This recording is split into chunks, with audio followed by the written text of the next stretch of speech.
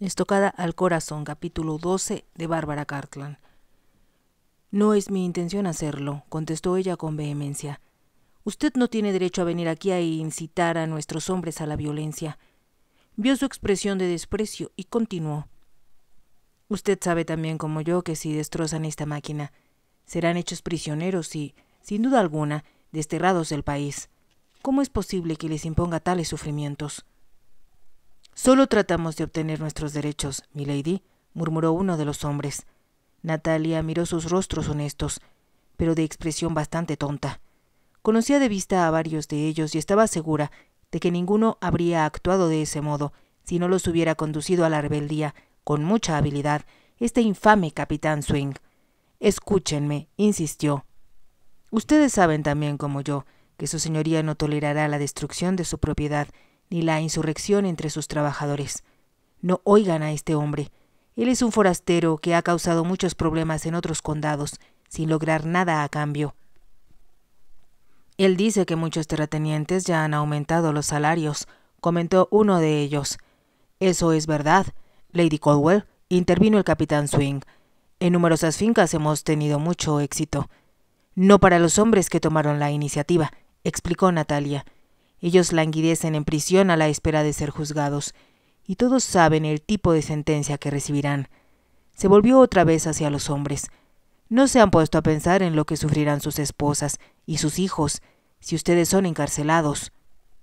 Tal vez su señoría ni siquiera les permita quedarse a vivir en sus casas. Se detuvo y añadió en tono suplicante Déjenme hablar con él en su favor. No hagan nada tan tonto como destruir esta máquina o quemar cosechas hasta que hayan hablado con mi esposo, de hombre a hombre, sobre los problemas de ustedes. Palabras orgullosas, exclamó el capitán Swing con desprecio. Pero, ¿cree usted que su señoría le escuchará? El primer hombre que se opone a un terrateniente es enviado a prisión antes que tenga siquiera oportunidad de abrir la boca. Observó a su alrededor, a los hombres que escuchaban. Solo si actuamos todos juntos, si le demostramos a estos amos chupasangre que hablamos en serio, lograremos que se haga algo. Tiene usted razón, capitán, eso es cierto, gritó un hombre. No es verdad, exclamó Natalia. Su señoría ni siquiera tiene idea de que ustedes están descontentos. Su salario está por encima del promedio, aunque no es suficiente. Ya he hablado con él, pidiéndole que reciban más, que haya dinero extra por cada niño que haya en una familia. Sí, ¿Ha hablado con el amo? ¿Qué contestó él? preguntó una voz procedente del fondo. Lo que sugiero, dijo Natalia sin hacer caso de la pregunta, es que hablen con su señoría antes de hacer algo tan drástico como para exponerse a ser desterrados o castigados con severidad. El capitán Swing se echó a reír. ¿No comprenden que trata de asustarlos? Le preguntó a los trabajadores. Ya han oído esas amenazas antes. Pongan un dedo en mi propiedad y lo, los haré ahorcar y en tanto sus esposas y sus hijos siguen muertos de hambre. Pues usted no tiene aspecto de estar sufriendo de hambre exactamente, capitán, observó Natalia con voz aguda. Las apariencias engañan, milady, contestó él con suavidad.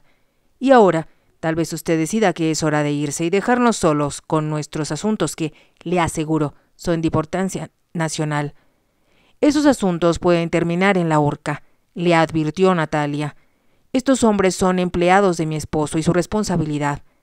No permitiré que usted los aliente a cometer delitos que solo pueden terminar en desastre. ¿Y cómo va a impedirlo? preguntó el capitán Swing. Hizo la pregunta con un tono divertido en la voz. Entonces, al mirarla, sus ojos se empequeñecieron. Tengo una idea, dijo, que con seguridad obtendrá la aprobación de su señoría. ¿Qué es? preguntó Natalia, un poco temerosa. Por primera vez desde que había entrado en el granero, tuvo miedo. Percibía algo diabólico en el capitán Swing y también tuvo la sospecha de que era algo desequilibrado. Comprendía que, como era un hombre elegante y de fácil palabra, además de dar la apariencia de ser un caballero, podía convencer con facilidad a los pobres trabajadores.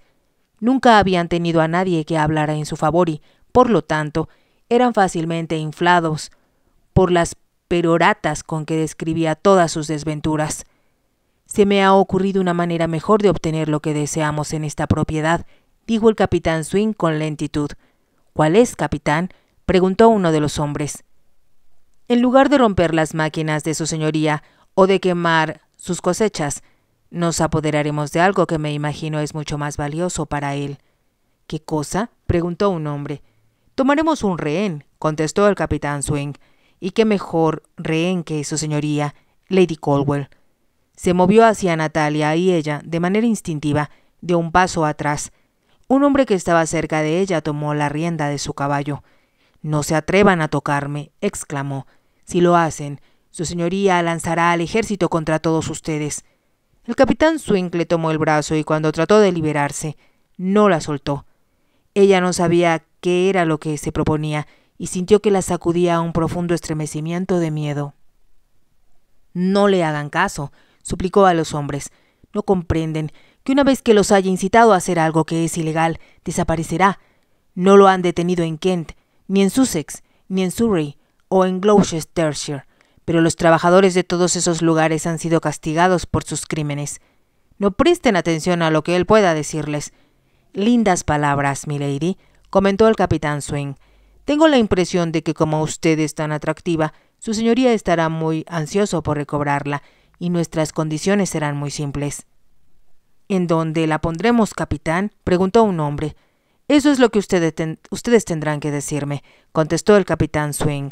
Tiene que ser un lugar donde su señoría no la encuentre, y eso descarta todos los edificios de las granjas y sus casas. Ustedes creen de veras, añadió Natalia furiosa, que su señoría se someterá al chantaje. A él no va a gustarle que usted pase hambre, frío e incomodidades, dijo el capitán Swing, y sin duda alguna estará ansioso de que se le devuelva a su linda esposa. Como no tienen mucho de casados, aún no debe haberse aburrido de usted. Como todos los hombres nos cansamos de una mujer después de un tiempo. Yo he pensado en un lugar, capitán, dijo uno de los jóvenes labriegos. ¿Cuál es? preguntó el capitán.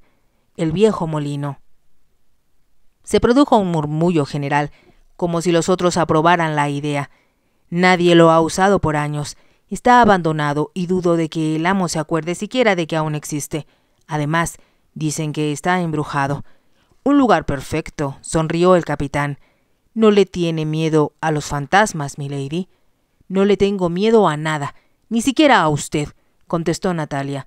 Lo que realmente me preocupa es que estos hombres tontos le estén haciendo caso. Usted es un hombre malo y ellos no se dan cuenta de ello. Ahora vengan, muchachos, no tenemos tiempo para quedarnos aquí charlando, dijo el capitán. Lo que queremos es acción. ¿En dónde está ese lugar? A menos de un kilómetro de aquí, capitán, y si seguimos la orilla del río, nadie nos verá. Buena idea, aprobó el capitán Swing. Dos de ustedes vengan conmigo para asegurarnos de que nuestra prisionera no escape. El resto vuelva al trabajo. ¿Y qué hacemos con el caballo? preguntó el hombre que lo detenía. Lo ocultaremos, respondió el capitán. Escóndanlo, y más tarde lo devolveremos a la caballeriza con una nota para su señoría. En ella estableceremos nuestras condiciones. Muy bien, capitán. Se apresuraron a obedecer sus órdenes, con una rapidez que le demostró a Natalia la admiración que sentían por él. Era inútil tratar de disuadirlos, pensó. Ellos solo lo escucharían a él. Era su paladín, su líder, y estaban dispuestos a obedecerlo como si fueran esclavos. El muchacho a quien se le había ocurrido la idea de usar el molino abandonado se adelantó, y el capitán Swing, que aún sostenía a Natalia por un brazo, lo siguió, seguido a su vez por otros dos hombres. Se mantuvieron a la sombra de los sauces, que bordeaban un pequeño arroyo que corría junto a la granja y serpenteaba entre los campos de labranza. La falda de terciopelo del traje de Natalia estaba empapada y sentía que la humedad penetraba a través de las botas cortas que llevaba puestas y que le llegaban solo hasta el tobillo. Estaba segura de que su enagua pronto estaría empapada también, pero este no era el momento para preocuparse por detalles insignificantes. Lo que la perturbaba en realidad era cuánto tiempo tardaría Lord Corwell en enterarse de que la habían tomado como rehén y cómo reaccionaría. Después de caminar un corto tiempo, el capitán Swing le soltó el brazo. Le sugiero que no intente escapar, o sería. no sería sensato. Yo soy muy ligero de pies, y cualquiera de nosotros corre con más rapidez que a usted. No haré nada tan tonto, contestó Natalia con dignidad. Solo esperaré a que su señoría me rescate, lo cual hará sin duda alguna. Estos pobres tontos a los que ha convencido para llevar a cabo sus nefastos planes serán castigados. Habla usted con soberbia, milady, exclamó el capitán Swain con una sonrisa. Pero antes que su marido la reciba de regreso en sus varoniles brazos, tendrá que aceptar nuestros términos. De otra manera, no sabrá dónde encontrarla. Alguien se lo dirá, no le quepa la menor duda, replicó Natalia. Es usted muy optimista, contestó el capitán Swing. Le aseguro que estos hombres son leales conmigo y con ellos mismos. Saben cuánto depende de su solidaridad, cuánto pueden ganar y qué poco pueden perder. Solo su libertad, contestó Natalia con brusquedad. Libertad para morirse de hambre porque una trilladora les quita la manera de ganarse la vida, preguntó el capitán Swing. Como le resultaba difícil no estar de acuerdo con él, Natalia apretó los labios y no contestó. Continuaron avanzando en silencio hasta que una curva del río los detuvo y los llevó hacia el viejo molino. Realmente parece abandonado, comentó el capitán Swing. Natalia sintió que le hundían el corazón al darse cuenta de que nunca lo había visto y que lo más probable era que su señoría hubiera olvidado su existencia. Había tantos árboles alrededor del edificio que desde cierta distancia, pensó, era imposible verlo. Numerosos arbustos silvestres rodeaban el estanque y el rodezno del molino estaba oxidado. El muchacho que caminaba adelante de ellos abrió la puerta, que apenas colgaba de sus goznes. Arriba hay una habitación, dijo, señalando con el dedo. Allí era donde acostumbraban guardar el grano. Natalia miró con temor la desvencijada escalera de madera. Algunos barrotes habían desaparecido, al igual que varios escalones. ¿No se vendrá abajo? le preguntó el capitán al muchacho. Está vieja, pero es segura, contestó el joven. Cuando era niño, yo subía y bajaba por ella sin dificultad. Muy bien, asintió el capitán. Sube tú primero. Mi lady te seguirá. Lo único que se debe evitar es caer en el estanque. Hay una corriente subterránea que pasa debajo de él. Es una especie de remolino. Lo que cae en él no vuelve a salir jamás. Todos tendremos buen cuidado de evitarlo. Vamos, milady. Contra su voluntad, comprendiendo que no podía hacer otra cosa, Natalia subió la desvencijada escalera. El muchacho, se había adelantado, abrió la puerta que había en lo alto, y ella vio una pequeña habitación cuadrada, donde en otro tiempo se había guardado el grano. Estaba completamente vacía, y la única ventana había sido cubierta con tablones, clavados de forma rudimentaria, de modo que solo unas cuantas rendijas dejaban colar un poco de luz, la que era suficiente para mostrarle que la habitación, a diferencia de la escalera por la que había subido, era fuerte y segura. El capitán Swing observó a su alrededor con satisfacción.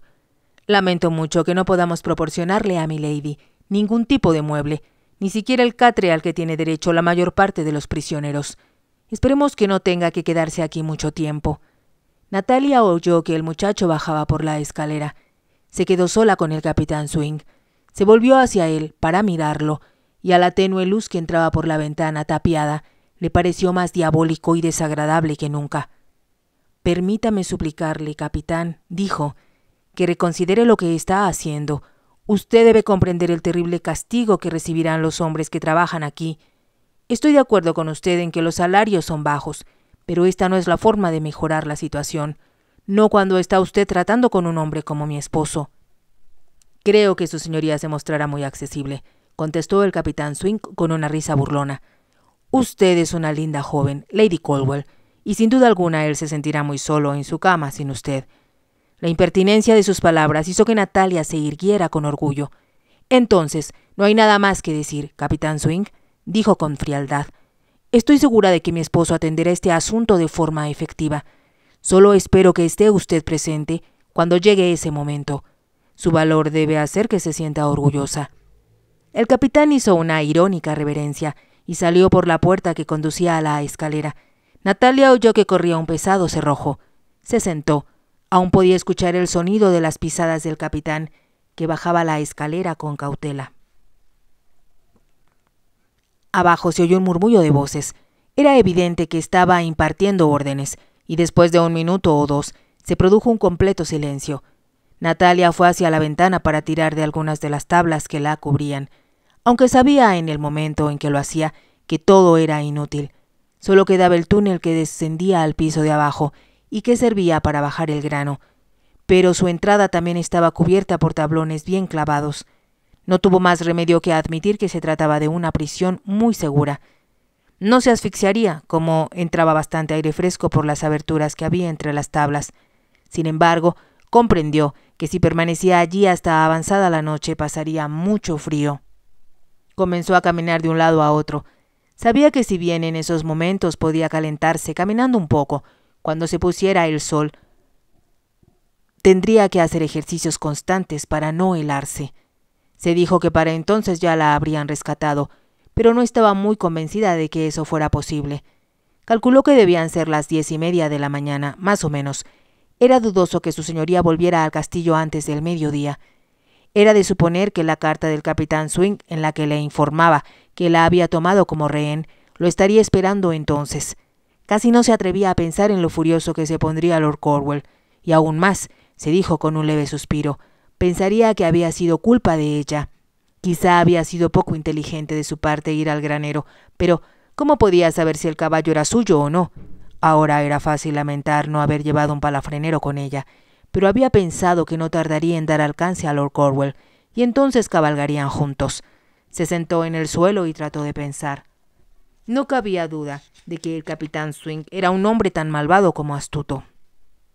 Incitaba a los trabajadores a que quemaran las cosechas y destrozaran las trilladoras mecánicas para después esfumarse, sin que nadie hubiera podido detenerlo hasta ese momento. Era cierto que los trabajadores del campo habían sido tratados en forma injusta, pero este tipo de revuelta no tenía probabilidad de triunfar. Recordó la drástica actitud de Lord Corwell y su opinión sobre lo que estaba sucediendo en otros lugares. Esto solo aumentaría su decisión de no mostrar misericordia frente a los hombres que se habían revelado dentro de su propia finca. Debo escapar, debo hacerlo, se dijo. Se levantó para intentar otra vez arrancar los pedazos de madera que cubrían la ventana, pero volvió a comprobar que sus esfuerzos eran vanos. Cada uno estaba asegurado en su lugar por medio de largos clavos. Se preguntó si valdría la pena gritar pidiendo socorro, pero comprendió que sería inútil. Había logrado asomarse por una de las rendijas de la ventana y solo pudo ver campos que se extendían en la distancia, sin un alma a la vista. No había nada que pudiera hacer más que sentarse y esperar a que su señoría cediera a las demandas del capitán Swing, ya que, cuando éste desapareciera, hiciera recaer toda la fuerza de la venganza sobre los hombres que habían participado en la rebelión. Debo rezar, se dijo Natalia. Volvió a sentarse, instalándose lo más cómodamente posible en un rincón de la habitación, Oró por algún tiempo. De pronto se encontró pensando en su caballero protector y cómo, cuando se había imaginado en situaciones similares, él siempre había logrado rescatarla pese a todos los obstáculos. El capitán Swing es el equivalente a un poderoso dragón, pensó. Recordó a Timothy, apoyado en su pecho cuando le contaba cuentos, y cuánto había disfrutado de las historias del caballero de reluciente armadura que atacaba al temible dragón. Esa tarde, ella esperaba saber que el herrero y su esposa adoptarían a Timothy. Al recordar al niño, comenzó a imaginar los cuentos que le contaría a sus propios hijos cuando los tuviera, y el pensar en sus hijos la llevó a pensar, de manera inevitable, en Lord Corwell. Cuando vuelva a ver a su señoría, se prometió, le diré que esta mañana me dirigí a toda prisa a buscarlo. Sintió que se estremecía al recordar la excitación que la invadía al salir del castillo. Sabía que cuando le dijera por qué estaba ansiosa de encontrarlo, una luz repentina aparecería en sus ojos y dejaría de fruncir el ceño. Entonces la besaría, como siempre había deseado que la besara. Lo amo, lo amo. Un día él también la amaría, un día ella lo haría feliz, y él podría olvidar a Lady Clarice y los sufrimientos que le había causado. Las horas parecían pasar con triste lentitud. Cuando llegó la tarde, Natalia comenzó a sentir hambre. Pensó entonces que debió haber desayunado bien y recordó con tristeza los suculentos platillos que había rechazado porque estaba deprimida. Una hora después se dio cuenta de que el sol se había puesto y que la poca luz que entraba en la habitación se esfumaba a toda prisa. El aire se volvía helado y Natalia empezó a caminar de un lado a otro con toda la rapidez que le era posible. Diez pasos adelante y diez pasos atrás, pero aún sentía cómo el frío penetraba a través de su chaqueta de terciopelo. Se alegraba de que Ellen hubiera insistido en que se pusiera la bufanda verde. Se había quitado el sombrero para sentarse con más comodidad en el rincón. Continuó caminando de un lado a otro, pero después de una hora comenzó a sentirse cansada y muy solitaria. Y sí, pensó consternada, su señoría decide desafiar a los rebeldes, y si se niega a ceder a sus exigencias. La idea no se le había ocurrido antes. Se había imaginado que, aunque estuviera irritado con ella, Lord Corwell no la dejaría sin protección en manos del capitán Swing. Se quedó inmóvil, y si ella significaba tan poco para él, que consideraba más importante ceñirse a sus principios que rescatarla, si decidía enviar por el ejército, era improbable que los soldados llegaran al día siguiente, pues tal vez les tomara varios días hacerlo. Si Lord Corwell había recibido la carta a la hora del almuerzo, ¿cuánto tiempo le tomaría a un mozo cabalgar hasta Worcester, el cuartel más próximo, y a los hombres volver desde allí? Natalia descubrió que no podía pensar con claridad. Sentía ante sí tantas nuevas posibilidades, tantos problemas que no había visualizado antes. Oh, ven por mí, ven por mí, murmuró con voz baja. Si te ha gustado, te invito a que te suscribas, a que me regales un me gusta y actives la campanita para poder seguir escuchando esta historia. Gracias.